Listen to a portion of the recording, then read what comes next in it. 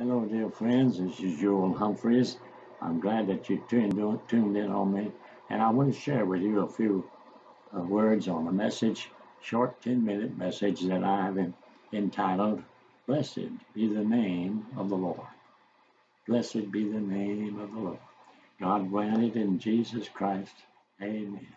Bible says over in uh, uh, Romans number one, we're saved by the name of the Lord. The Bible says in Romans 10 in verse 13, it says, Whosoever shall call on the name of the Lord shall be saved. Whoever calls on the name of the Lord, and that's Jesus Christ. So when you call on the name of the Lord Jesus and you ask Him to forgive you, you're forgiven. And ask Him to come in your heart, He lives in your heart. And you're saved, and your name is written in heaven because you've called on the name of the Lord. Hallelujah. And when you believe in him and in that name, you're saved forever. Bible says in John 1 in the first chapter, it says that he came into his own and his own did not receive him.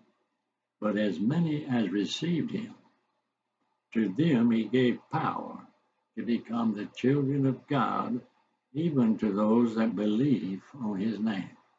And so when you believe on his name, you're saved and you become a child of God forever.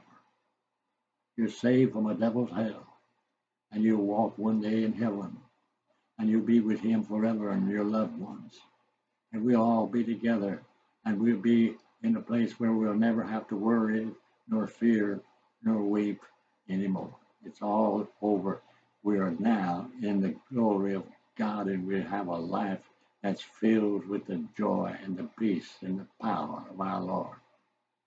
Oh, praise God, because we believe in that name. And then that name is important in regard to your prayers. Oh, Over in John, in the 14th chapter, Jesus said, Whosoever shall call upon the name of the Lord, I will hear. Whatsoever you shall ask, I will hear, and I will do it, that the Father may be glorified in the Son. Whatever you ask, the Lord if it if it will please God the Father, it'll please me, and I'll answer it.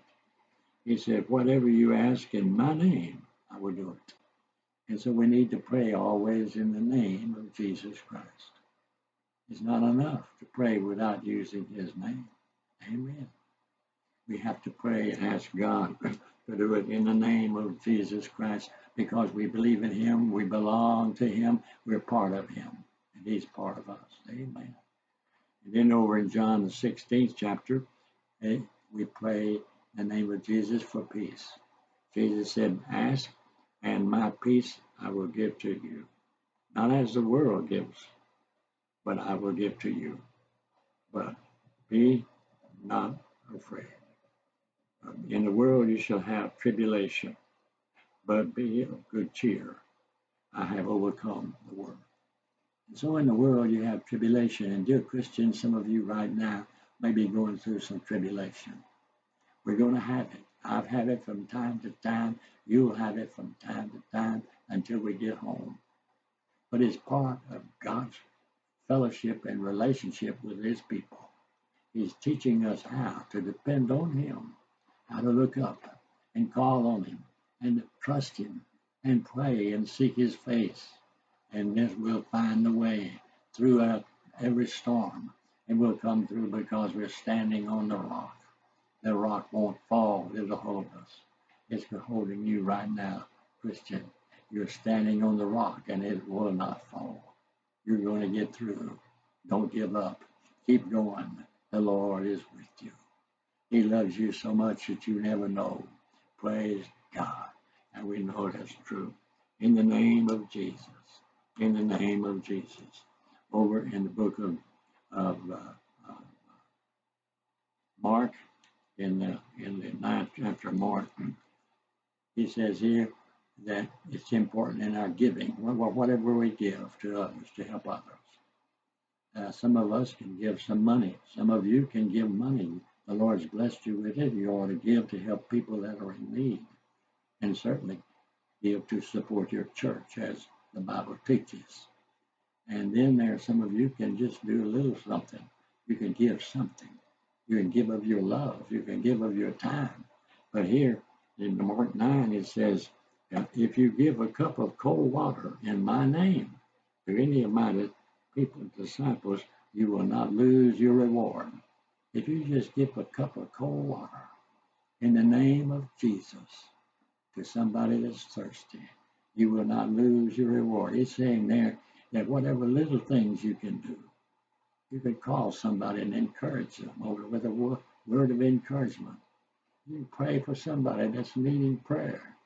You can do something that seems small, but God says it's big to me, and you will not lose your reward. And so it's important that we know this the name of the Lord.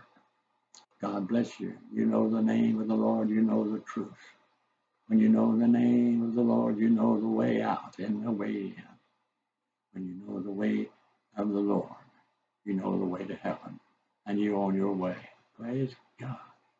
Bible says over in, in Philippians in the second chapter, verse 9, as this uh, the Lord Jesus humbled himself and became obedient unto death, even the death of the cross. And therefore God hath highly exalted him and given him a name above every name. Praise the Lord. He has a name above every name, the name of Jesus Christ. There is no name above that name. Every knee will bow one day.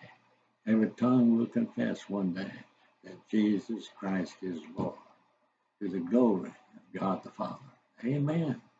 And so trust that name. Trust Him. Trust Him. Oh, for a thousand tongues to sing, blessed be the name of the Lord.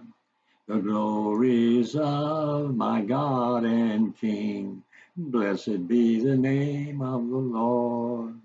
Blessed be the name, blessed be the name, blessed be the name of the Lord. Blessed be the name, blessed be the name, blessed be the name of the Lord. He does calms our fears, blessed be the name of the Lord. Tis music to the sinner's ears Blessed be the name of the Lord. Blessed be the name, blessed be the name, blessed be the name of the Lord. Blessed be the name, blessed be the name, blessed be the name of the Lord. I never shall forget that day.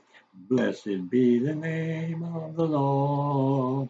When Jesus washed my sins away, blessed be the name of the Lord.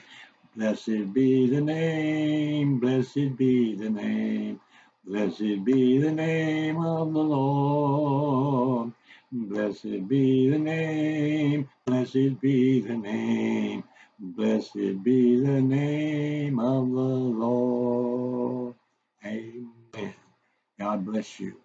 May that name be blessed in your life, and I feel that it is in your life. God be with you. God loves you, and I love you. Stay close to Him. Pray, ask the Lord to come in your life and your heart, and just say, Dear God, please forgive me.